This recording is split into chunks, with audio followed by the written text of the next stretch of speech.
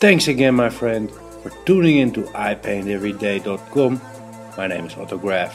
Before I start talking about Keith Haring, I would like to let you know that we are coming from Amsterdam City, which is located in the Netherlands.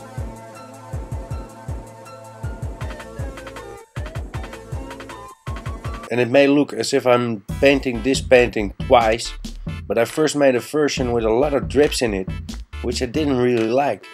So that's why I'm doing it again, but now without the drips. And of course I want to dedicate this painting to my man Keith Haring, my dead homeboy, the man with the plan, because he was the one that inspired me to do some painting.